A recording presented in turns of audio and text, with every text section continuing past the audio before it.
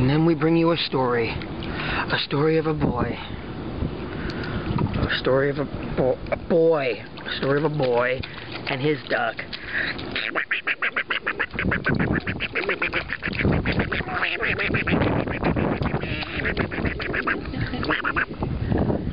A friendship that stands the test of time.